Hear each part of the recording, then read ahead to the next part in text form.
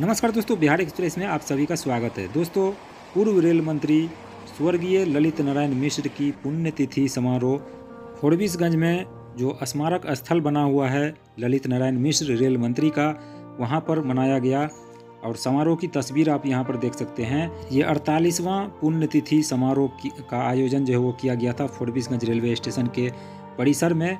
और पूर्व रेल मंत्री स्वर्गीय ललित नारायण मिश्र की मौत समस्तीपुर स्टेशन पर जब वो एक सभा को संबोधित कर रहे थे और तभी अचानक स्टेज पर बम धमाका होता है और उसमें बुरी तरह जख्मी हो जाते हैं, जिसके बाद वहाँ से उनको दानापुर रेल, रेलवे हॉस्पिटल ले जाया जाता है।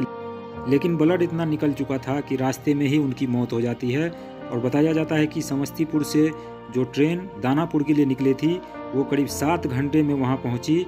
और ये भी बताया जाता है कि उस ट्रेन को जानबूझकर लेट किया गया और दानापुर के आउटर पर ही ट्रेन को करीब दो से ढाई घंटे रोका गया और ये एक सोची समझी साजिश बताई जा रही थी। लेकिन क्या था इसका केस जो है वो 2014 में क्लोज हुआ है इस बम धमाके की और ललित नारायण मिश्र का जो केस था वो 2014 में फाइनल जो है वो हो गया। खैर, ये एक लंबी कहानी थी, किसकी साजिश थी, नहीं थी, ये मुझे नहीं पता।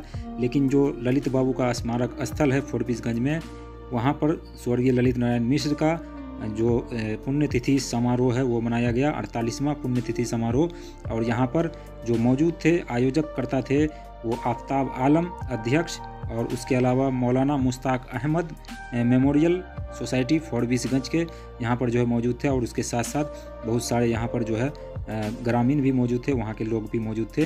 तो ये फोड़बीसगंज की अपडेट आप देख रहे थे, चंदन कुमार की मदद से, जो आज, यानी कि 3 जनवरी 2023 को 48वां पुण्यतिथि समारोह फोरबीसगंज में मनाया गया, जिसकी तस्वीर आप चंदन कुमार की मदद से हम आप तक पहुँचा रहे थे।